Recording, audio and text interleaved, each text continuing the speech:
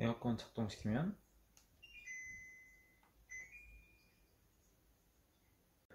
송풍을 계속 시키고 말리는데도 왜 작동시킬 때 처음에 항상 냄새가 나는지 모르겠네. 안에가 어떻게 생겨먹은지 한번 봐야겠어요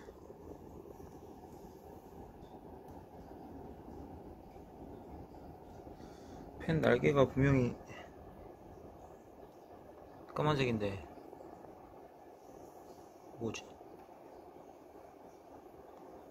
왜 노란색이 있지? 아 그리고 뭔가 지금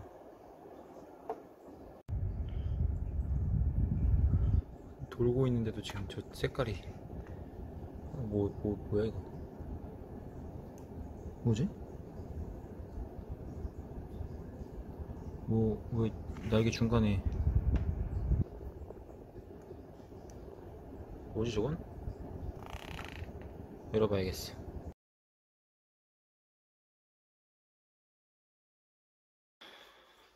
분해하는 방법은 뒤편에는 필터. 위에도 똑같이 분해하면 되고요. 조립은 조립은 쉽고 상단에 스크류 하나? 스크류 튜두개. 그리고 보이지 않는 면에 스크류 하나 이쪽 두 개. 커버를 제거해야 됩니다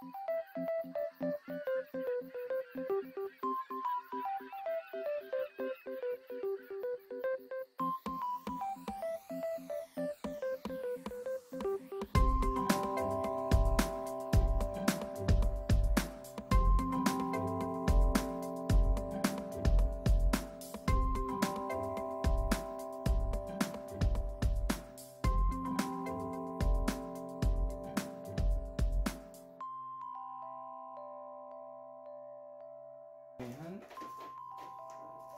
앞